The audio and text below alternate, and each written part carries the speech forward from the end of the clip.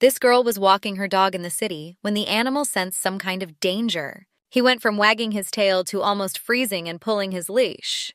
After looking back, he started running. As this scared the girl, she checked their surroundings and realized that a bear was following them. It probably had no intention chasing the walkers, because if he wanted to get them, he would have. Still, when the animal spotted the security camera, he got embarrassed that he got caught.